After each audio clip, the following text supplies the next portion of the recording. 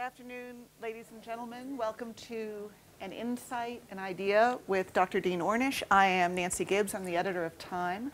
Uh, talk about someone who needs no introduction. Dr. Ornish is obviously a physician, a best-selling author, an advisor to princes and presidents, and a fervent and artful evangelist for a complete rethinking of how we approach healthcare. And our, our session today, the idea we are exploring is about lifestyle medicine. And so the obvious place to start uh, is to define what you mean by lifestyle medicine. Hmm. Well, thank you. I'm very appreciative to the, for the opportunity to be here today with you. So thank you. Um, lifestyle medicine is, I think, the most important trend in medicine today. And it's medicine, it's lifestyle is treatment. You know, we all know that lifestyle changes can help prevent disease, particularly heart disease and diabetes and things like this. But this is lifestyle as treatment.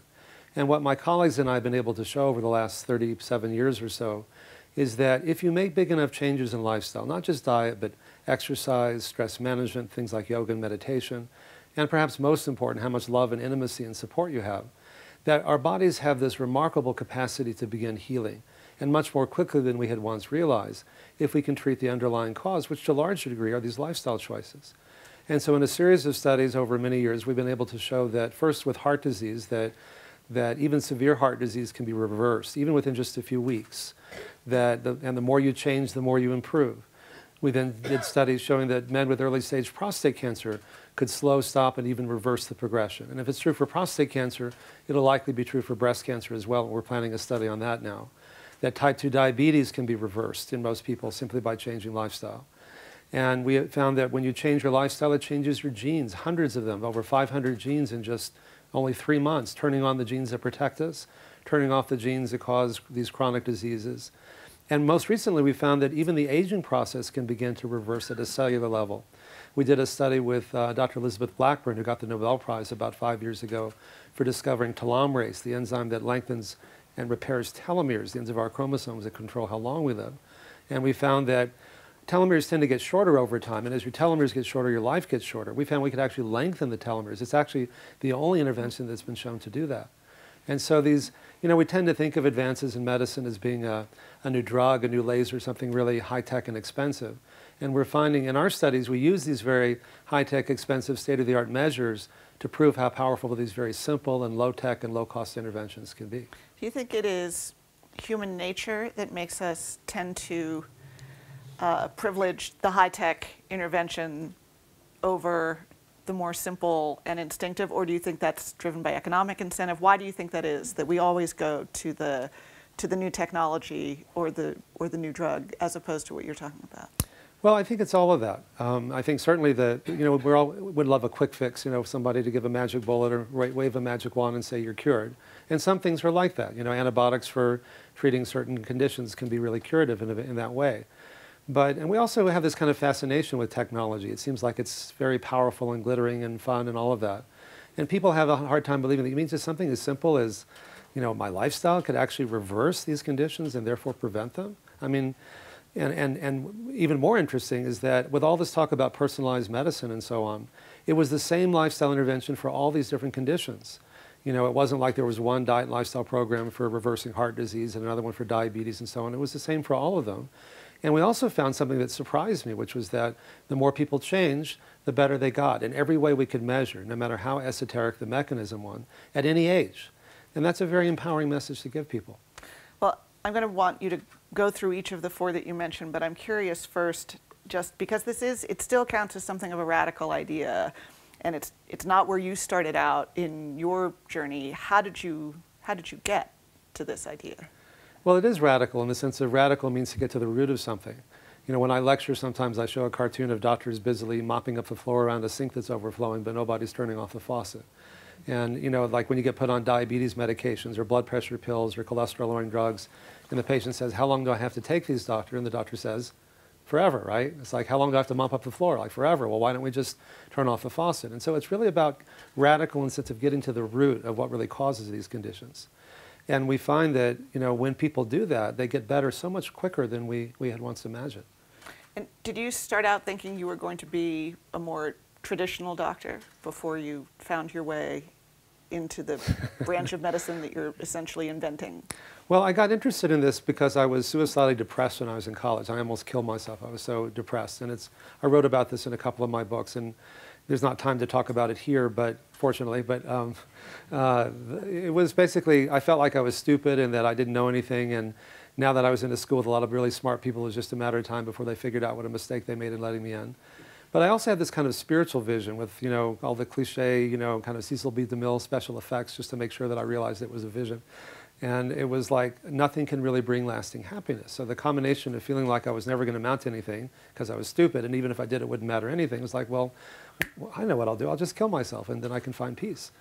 And that got me interested in as an ecumenical spiritual teacher that I was working with and began uh, changing my diet. And he said, if you just change your diet and eat a plant-based diet and exercise and love more and, and walk and do these things that, you know, you'll get better. And I began to experience that sense of when you quiet down your mind and body enough, however you do that, that you feel more peaceful. But not because those techniques brought you peace. That's our natural state is to be peaceful unless we disturb it. And I think in one of the ultimate ironies, we end up running after all these things, thinking if I just had more money or power or sex or beauty or accomplishment or whatever, then I'd be happy. And once you set up that view of the world, generally, however it turns out, you're not happy. And that's what I wasn't happy. You know, until you get it, you're not happy. If someone else gets it, you're really not happy. And even if you get it, it's very seductive. It's like, ah, oh, I got it. Now it's now I'm happy, but it doesn't last. It's like, well, now what? You know, or so what? Big deal. So. Um, this teacher was a man named Swami Satchidananda, and people say, "What are you, a Hindu?" He'd say, "No, I'm an undo," you know. and the undo button on the on the computer has been always my my favorite. And our our bodies have this remarkable capacity to undo a lot of that damage. So I began to get little glimpses of what it meant to feel peaceful, not because I got something I thought I needed, but I just was quieting down what was there already. And so I was able to do well enough to get into medical school. And then when I was in medical school, I was uh, learning how to do bypass surgery with Michael DeBakey, the eminent heart surgeon. And it was, again, an example of high-tech medicine at its, at its ultimate at the time. And we cut people open, we bypassed their clogged arteries. He'd tell them they were cured, and more often than not, they'd go home and do all the things that caused the problem in the first place. They'd smoke and eat junk food, not manage stress, not exercise. And then often their bypasses would clog up, so we'd cut them open again. I said, there's got to be a better way. So that's when I took a year off between my second and third years of medical school, put 10 men and women in a hotel for a month, and that began kind of a lifelong journey for me. So there are four elements, so let's do those one at a time. Because I think people want to understand when you say the more you embrace each of these, the greater the, the progress, the, the success. So uh -huh. I uh-huh. want, want to know how radical a lifestyle change we're talking about. So let's start with diet, which is the most obvious. It's the one probably you were first identified with. Right. Um, what kind of a diet change are you talking about for people? You're right. It's the one I'm most identified with, and it's the one I'm probably least interested in. But it's so kind of funny how that, that tends to happen. But okay, I promise we'll end up with the one I know you're most interested in. um, it's basically a whole foods plant-based diet. It's also low in sugar and refined carbs, and it's naturally low in fat. It's I mean, it's not fat is not the primary goal. It's mainly fruits, vegetables, whole grains, legumes, soy products in their natural forms which are low in the disease-causing substances and high in, there's literally hundreds of thousands of protective substances that you find in foods like that. Um, and it's also moderate exercise, you know, walking a half an hour a day, uh, yoga and meditation or whatever way used to, to manage stress, and more love and support. And the more you change, the more you improve. So on the diet front, the, we've been having a great big conversation this year about fat. One of the most you know, talked about covers we did at Time was about eat butter and the rethinking about fat versus sugar and what's the villain. Where are you on the, the fat good, fat bad spectrum? Yeah, that wasn't my favorite Time magazine cover. I didn't I think it would be, that's why. but you know, the, the, the, the, the, the theme of that issue, or that article, um, which has almost become a meme because it's been repeated so often in this kind of echo chamber that people begin to believe it, is that Americans have been told to eat less fat. They're fatter than ever, so clearly low fat has failed, right? So I went to the USDA database and I said, is that really true? I, clearly Americans have been told to eat less fat, but are they eating less fat? And it turns out that every decade since 1950, people have been eating more fat, actually 67% more fat, more sugar, 37% more sugar, more calories, 800 calories per person, and more meat, 57 pounds more meat. So we may have been told to eat less fat, but we're eating more fat, more sugar, more calories, and, and so it's not surprising that we weigh more. So sugar is important, fat is important, but animal protein seems to be particularly important. You know, I did all these hmm. debates with Dr. Atkins before he died, um, probably of heart disease. That's another story. Um, and uh, you know, he was always the low carb guy, and I was pegged as the low fat guy. And it, you know, unfortunately, those labels kind of stuck. But animal protein, there was an article that came out by uh, Levine in a journal called Cell Metabolism last year, and they found that people who ate a lot of animal protein, independent of the fat and cholesterol and, and, and uh, sugar, had, had 75% uh, increased risk of premature death from all causes, a 400% risk, uh, increased risk of cancer, and a 500% increased risk of diabetes. So I think we need to move beyond individual components, low fat, low carb. You know, it's all of that. And so, and to me, an optimal diet is a whole foods, plant-based diet that's naturally low, both in fat, in refined carbs, and high in the good carbs and, the, and, and enough of the good fats, the omega-3s and so on. So if there's a meme around exercise right now, and you're right that each of these always has its its fads and trends. So the one right now is not your half hour of walking; it's the one minute workout or it's the seven minute workout. And mm -hmm. so, can you talk about that? No, I think it's true. The, the studies are showing that um, if you really do intense exercise for short bursts, that gives you many of the benefits of more intensive, of, of, of, of longer, less intensive exercise.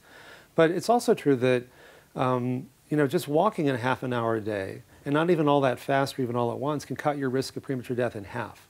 So a little goes a long way. And the consistency is more important than the duration. And the, you know, I wrote a book called The Spectrum, which was based on this finding that the more you change, the more you improve.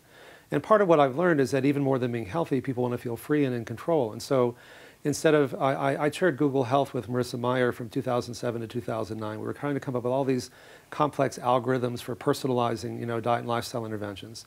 And one day I said, you know, I think we're really going about this in completely the wrong way. Instead of making this so complicated and telling people what they should be doing, let's ask people how much they want to change and then support that degree of change. So then it's much more compassionate. You can't fail because if you go on a diet, chances are you're going to go off it. And then you have all those toxic emotions. You know, I failed. I mean, the whole language of behavioral change has this kind of moralistic mm. quality. You know, I cheated on my diet. You know, good foods and bad foods. And once you call foods bad, it's a very small step to saying I'm a bad person because I eat bad foods. You know, and it's all over then. I say, look, food is just food, but some foods are healthier than others. So I categorize foods from the healthiest to the least healthy and say what matters most is your overall way of eating and living. So if you indulge yourself one day, it doesn't mean you cheated or you're bad. Just eat healthier the next. If you don't have time to do an intense workout one day, do a little more the next. If you don't have time to meditate for an hour, do it for a minute. Whatever you do, there's a corresponding benefit. And that way you can't fail. Now, I know from our fascinating conversations leading up to today that the, the one of these four that, you're, that you are most animated by is about love and support, which I would have said is the one that people may have the least control over. So how does that one work? Well, you know, we tend to think that the time we spend with our friends and families are, are kind of the luxury that we do after we've done all the important stuff. But what the studies are showing that it is the important stuff. You know, that um, study after study has shown that people who are lonely and depressed and isolated are three to ten times more likely to get sick and die prematurely than those who have a sense of love and connection and community. And you know, Nicholas Christakis at Harvard found that if your friends, I mean, we are so interconnected that if your friends are obese, you're 45% more likely to be obese. If your friends' friends are obese, you're 25%. And if your friend's friend's friends is obese, you're 10% more likely, even if you've never met them. Now, How does that work? Because we're just so interconnected. You know, people used to criticize my work and say, oh, this is so California, this is so touchy-feely. And I'd say, no, no, no, look at, I've got the, you know, here are the quantitative arteriograms and the cardiac positron emission tomography and radionuclide ventriculography and blah, blah, blah. And then one day I said, you know what? It is touchy-feely.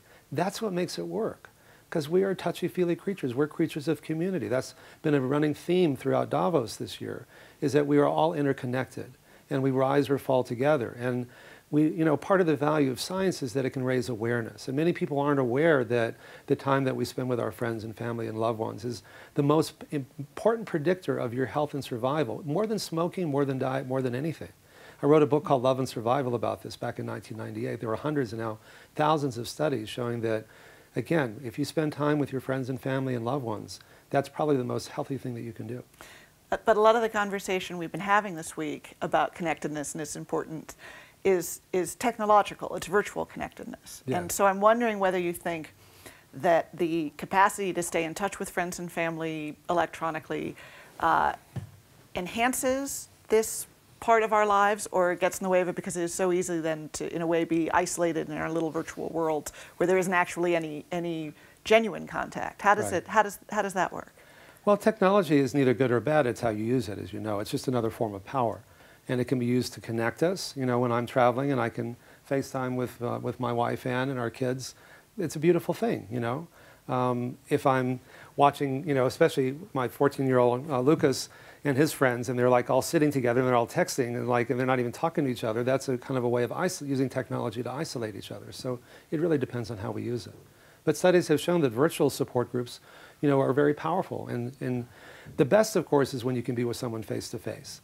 Uh, there's an energy, I think, that gets transmitted that we don't necessarily know how to measure, but you can feel it. And I think that energy, that intimacy is healing. You know, the word healing comes from the root to make whole. The word yoga is from the Sanskrit to meaning to yoke, to unite, to bring together. That anything that creates intimacy is healing. These are really old ideas that we're rediscovering. You mentioned a second ago about the, oh, the, the touchy-feely California doctor. So I'm gonna, I'm gonna ask you to do an exercise. Uh, channel your critics. Channel my critics? Channel your critics and those who, who say that this is, this is a bunch of unscientific, touchy-feely stuff. What is the, what's the charge? You mean over time, like mm -hmm. the history of these things? Mm -hmm. Oh God, I don't think I've ever been asked that question before. Um, um, well, well I'm going to give you a chance to answer them. Okay, oh good. I will channel my inner critic and my inner rebuttal. Um, well, I remember when I was uh, an intern, I was at, uh, at Harvard's Mass General Hospital. And I was um, on the wards, and one of the, the attending physician at the time, who was like world famous, wrote the standard textbooks, he said, Dean, you really think the mind affects the body? That's like the stupidest idea I've ever heard of. And I looked at him, I said, have you ever had an erection? You know, it's like, it's like things that just seem so obvious to me are like were considered radical, you know, were like, because they didn't fit within the conventional wisdom of what, uh, of what we've been led to believe. And of course, the whole idea that heart disease could be reversed you know, people thought that was a crazy idea when I started doing this work 38 years ago and I was a medical student. And I said, well, look, you can reverse heart, you can cause heart disease in like dogs and cats and pigs and rabbits and monkeys if you make them smoke or eat junk food or not let them exercise or make them stressed and uh, isolated. Why can't, and you can reverse it. Why would people be any different? Oh no, it can't be done. And so we did the first study and then people, it, it was kind of a, an eye-opening experience for me about when you're doing something that's true, and I didn't re realize because I was a medical student, I didn't know enough to know how disruptive it really was. I just thought, well, let's just try it. One of the nice things about being a medical student is you'll do things you wouldn't do if you knew better. And so when we showed that it was reversible, people didn't believe it. But beyond that, there was a visceral reaction that was way out of proportion to just like a scientific skepticism. And I began to realize that um, when you're doing something that doesn't fit the conventional wisdom, that's truly disruptive, it's threatening to the order that that paradigm, that paradigm or that belief provides. And so it goes beyond just this particular issue. It's like the whole fabric begins to feel like it may come undone. It, and it creates that kind of visceral sense of chaos that people want to like, like just put it down.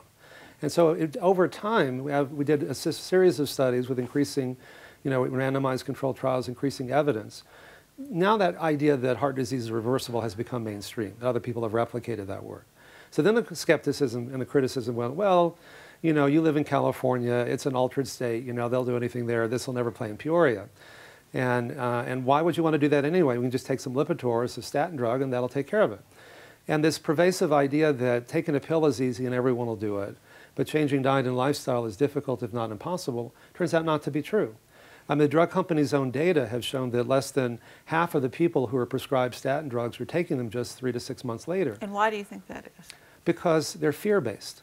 You know, uh, we don't really think about it, but it's like take this pill forever. you know, um, it's not going to make you feel better. Hopefully, it won't make you feel worse to prevent something really awful from happening years down the road, like a heart attack or stroke that you don't want to think about. So people don't think about it. I mean, for a few months, for like six weeks after someone's had a heart attack or stroke or something really bad, they'll do pretty much anything that the doctor tells them. And then they get off it because fear is not a sustainable motivator. And that's just true in politics.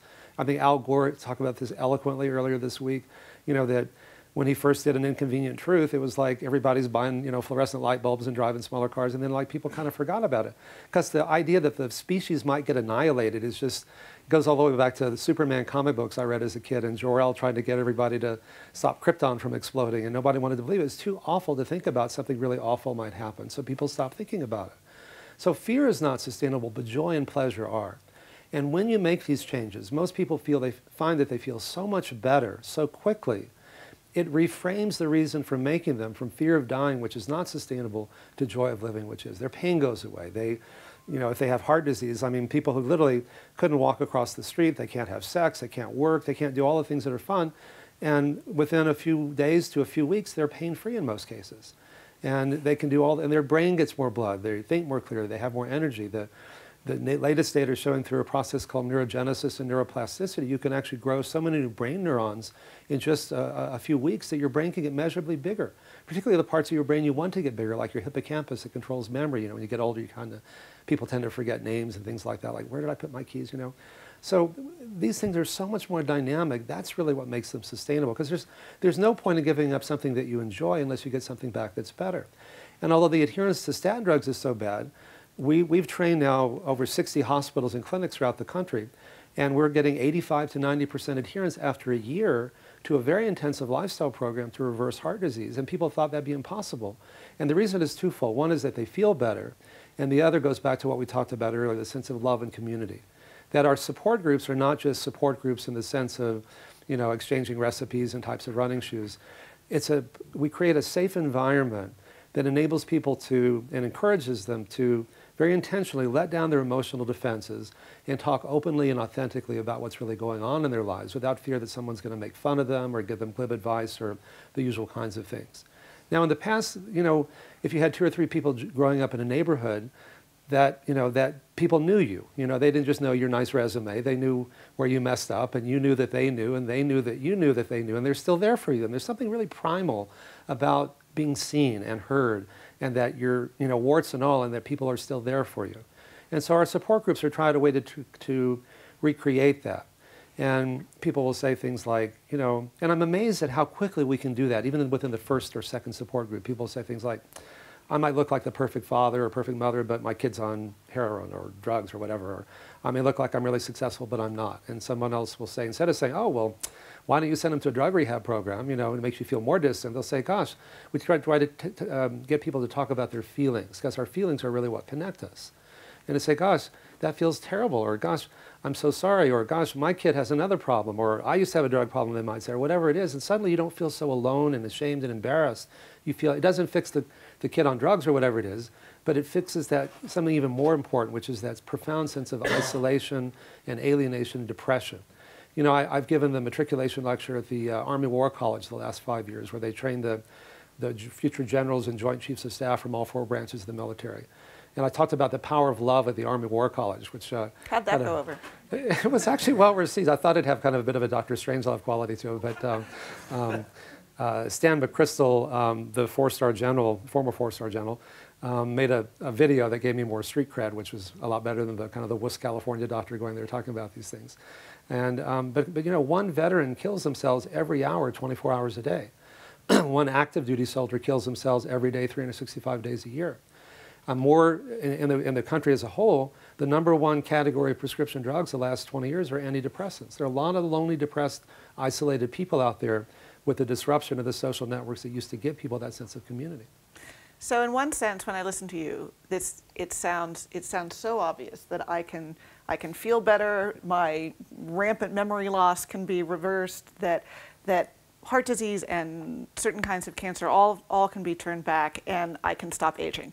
It all sounds so irresistible that I have to say, then what are the obstacles to widespread adoption of the arguments that you? Well, the biggest obstacle. And how do you see that changing? Well, it is obstacles? changing. That's what's so cool, Nancy, is that um, I used to think, in kind of my naivete, that if we just did good science, that will change medical practice. And to some degree it did, but not nearly as much as I'd hoped. And through our nonprofit Preventive Medicine Research Institute, beginning in 1993, to answer the question is, will this play in Peoria? You know, we began training hospitals and clinics around the country. You know, UCSF, the Cleveland Clinic, um, uh, Scripps, you know, but also community hospitals in Omaha, Des Moines, South Carolina, where they told me uh, gravy's a beverage and shit is a three-syllable word, you know, those kinds of things. Um, and we found that we could get 85 to 90% adherence in all these different sites, bigger changes in lifestyle, better clinical outcomes. Highmark Blue Cross Blue Shield, which was covering our program, began to provide it in, in West Virginia, Nebraska, and Pennsylvania. They got the same outcomes, and they cut their overall costs in half. But the painful lesson for me was that a number of those sites closed down, not because of the science or the efficacy or the cost savings, but the lack of reimbursement. So that set me off on it. And we were going insurance company by insurance company. It was very hard to get people to do things visionary. They, it, insurance world doesn't select, it selects for people who like to kind of manage risk. That's why they go into it. So I realized if we could just get Medicare to pay for it, then most of the other insurance companies would follow suit. And Bill Clinton, when he was president, was very strongly supportive of this. We worked with Hillary, uh, asked me to work with the chefs that cook for them. So, and then I became one of his, uh, his consulting doctors, his, you know, and, and, remained that way since 1993. But also Newt Gingrich, uh, when he was Speaker of the House, came to one of our retreats with his daughter, and he became very strongly supportive. There wasn't a whole lot of things that they agreed on at the time. And 20 members of the Senate, 30 members of the House across the political spectrum, uh, members, the heads of the AARP, and most of the major medical societies uh, got behind it. And I thought, well, great, you know, this will, this will, we'll get this done fairly quickly. 16 years later, Medicare agreed to cover our program, and they created a new benefit category. Actually, got an act of Congress passed to give them the statutory authority to do that. So now that Medicare is paying for it, the good news is most of the other insurance companies, you know, um, Mark Bertolini, the CEO of Aetna, was, was here earlier. Uh, their Aetna is paying for it, and uh, WellPoint, and most of the Blue Cross Blue Shield plans, and others. And so we're really trying to create, and we are creating, a new paradigm of healthcare. Um, if it's reimbursable, then it's sustainable. You know, as the rappers say, it's all about the Benjamins, you know. And now it is. And so, and if you change, if it's reimbursable, it not only changes medical practice, but even medical education. And there's a convergence of forces that after doing this for almost four decades, it's finally the right idea at the right time. Because at the same time that the limitations of high-tech medicine are becoming increasingly documented. I mean, for example, studies have shown that if you're, uh, uh, if you're not in the middle of having a heart attack, that angioplasties and stents don't work. You know, that bypass surgery only works for a very small percentage of people who have the most severe disease, maybe 1 or 2%. We spent almost $80 billion just on those two operations, which were essentially dangerous, invasive, expensive, and largely ineffective. Um, for treating prostate cancer, the New England Journal of Medicine had a large study. One out of 49 men who's treated for early stage prostate cancer benefits. The others often end up in diapers and they're, because they're incontinent or they're impotent and can't have sex. So we maim people in the most personal ways, and yet only one out of 49 people benefits from that. We found that we could actually stop or reverse the progression of early stage prostate cancer by simply changing lifestyle. It's like people say, why are you doing this radical intervention? Like, why don't you do something more conventional, like cutting people's chests open instead of, you know, walking, meditating, eating vegetables, and, and so on.